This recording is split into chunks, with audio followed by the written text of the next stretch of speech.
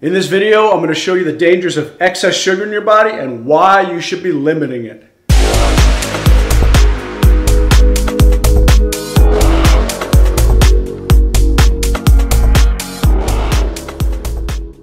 Hello and welcome to Total Health with Dr. Nick, where my purpose is to inspire, empower, and motivate you to live longer, healthier, and more abundant lives. In this video, I'm going to show you exactly why you should limit excess sugar in your body because of the potential dangers and diseases it can cause.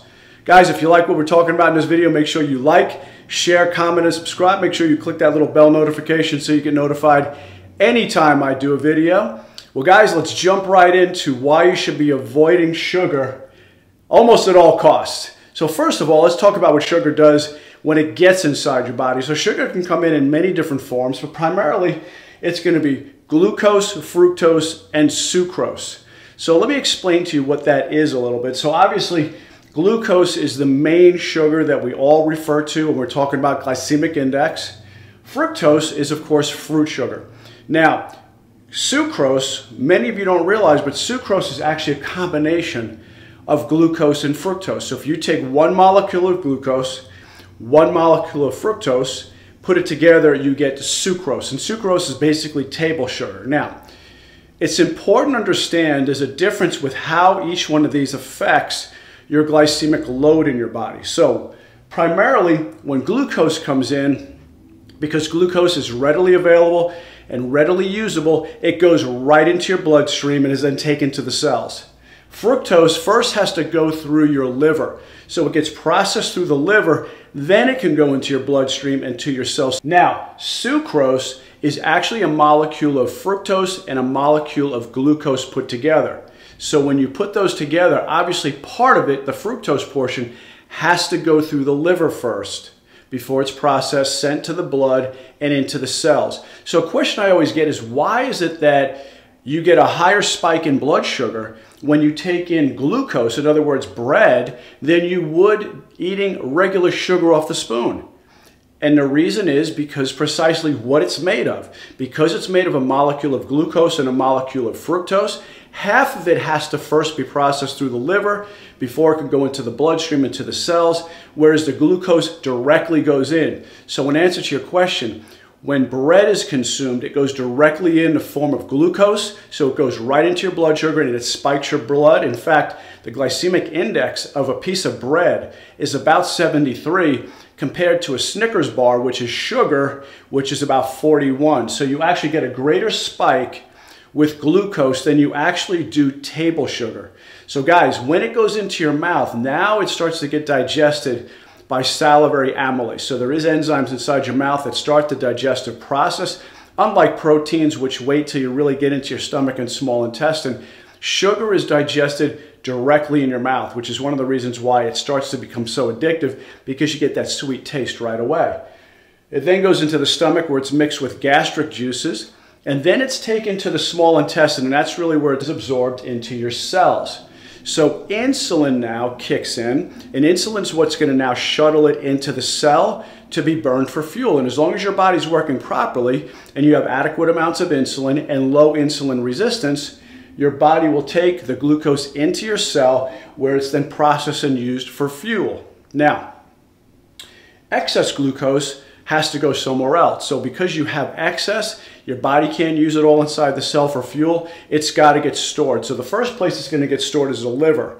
So the liver is a storage house amongst many, many other jobs for the liver. One of it is to store glucose in the form of glycogen and also the muscle. So your muscle does also store some uh, glucose in the form of glycogen too. This is where you have your reserves mainly. And a lot of times people who go on things like the ketogenic diet or the metabolic healing diet, you will first lower your carbs so that you burn up all these reserves and then your body will start to turn fat to fat for fuel. Now, if it doesn't get just reserved here, if there's too much, stored sugar gets converted to triglycerides and it is then stored as fat.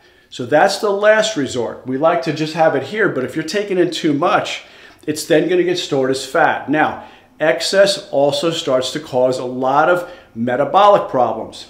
We start to look at the brain. So let's start with that first.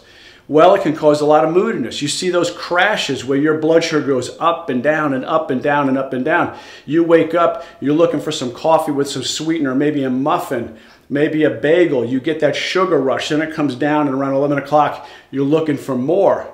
Now you're looking for another sugar rush, another muffin, another bagel, piece of you know, candy, maybe a Snicker bar down at the work concession stand.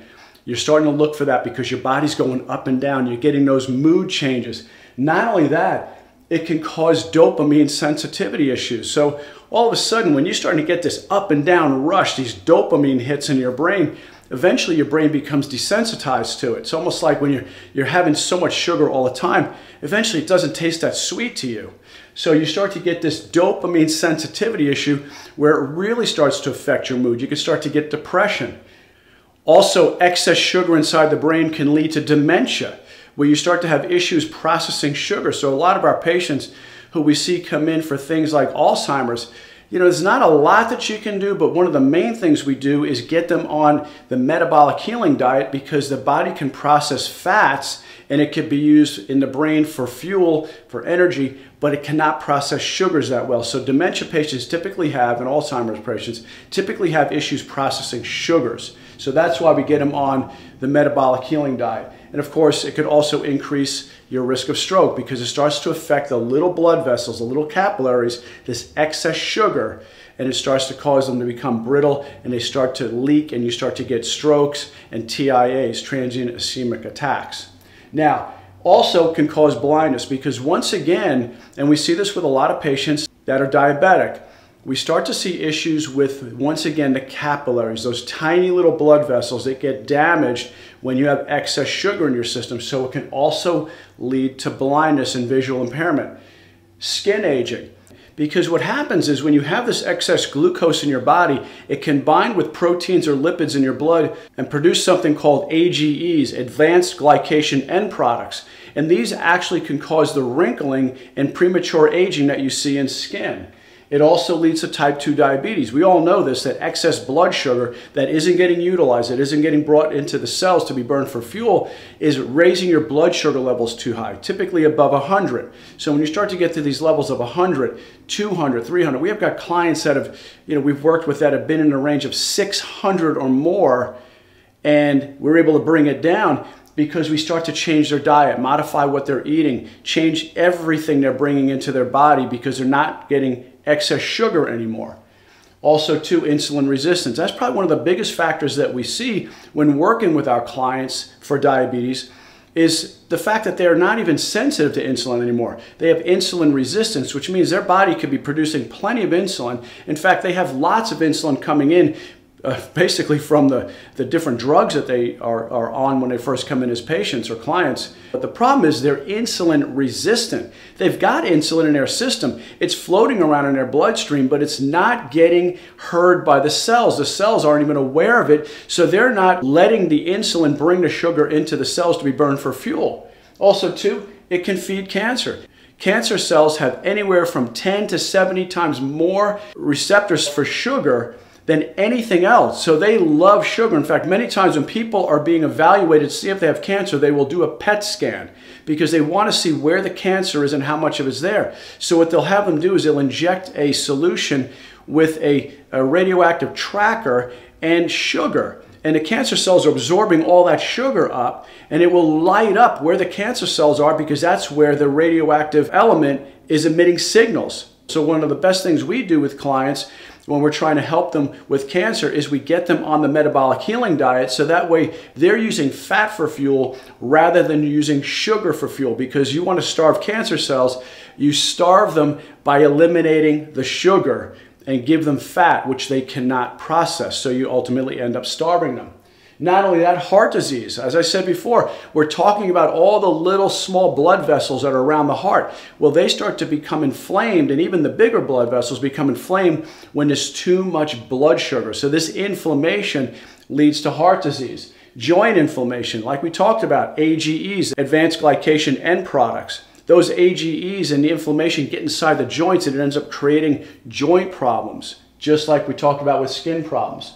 It disrupts the gut you get where your gut microbiome is the wrong type. Instead of maybe being Bacteroidetes, It's Firmicutes, which is basically a high carb type of bacteria. So when you want a bacteria ratio of say 85 to 15% of good to bad, this totally skews it in the wrong direction. So it's too much sugar, you start to create a gut microbiome that's highly, highly addicted to sugar. And that's why you crave it so much because you want to feed those bugs. So those bugs are making you get the cravings. That's why you're feeling it so much, especially when you want to go to bed at night. Erectile and sexual dysfunction. Once again, when you're dealing with those little tiny capillaries and microtubules around the male reproductive organs, you start to create problems with of course, erectile dysfunction. Guys, you want to solve this problem, get off of the sugars and get onto a healthier diet. Fatty liver. Fatty liver many times caused by too much fructose in your diet. You start to create all this, you know, excess sugar and excess fat in your liver. Kidney failure. Once again, we're coming back to those small little microtubules, those small little capillary beds. You start to damage them into kidneys, and next thing you know, you have kidney failure and you are on dialysis. And many of our clients see this because they see their family members or they come to us that have been on dialysis because they're struggling with type 2 diabetes and they want the help because they are afraid that they're going to be on dialysis for the rest of their lives. And many people are. You're on dialysis for maybe five, six hours a day, sometimes five to seven days a week. It's a full time job that can be eliminated by knowing what to do, knowing what your strategies are on how to change your diet completely, how to reduce your insulin resistance. And guys, this is stuff that we can help you with. If you want to figure it out on your own, that's okay too. But if you'd like our help, I'm going to put a link down below for a webinar that you can watch to get more information and see if this is something you'd like us to help you with. All you have to do, guys, is raise your hand. Just ask. If you want our help, we're here to help you. We'll show you a strategy. We'll let you know what we can do to help you out to reverse your diabetes or your other metabolic disorders so that way you can get your health back. But it takes one thing. It, one thing it just takes raising your hand and you'll simply fill out a form where we get an application, a short application to see what it is that we can do to help you out with.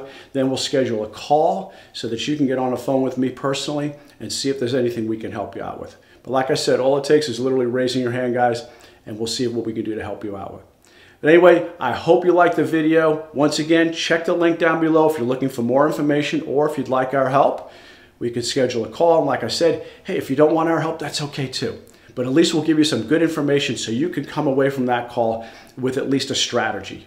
All right? Well, guys, I love and appreciate you. Thanks for watching. This is Dr. Nick. God bless, and I'll see you on the next video. Bye-bye.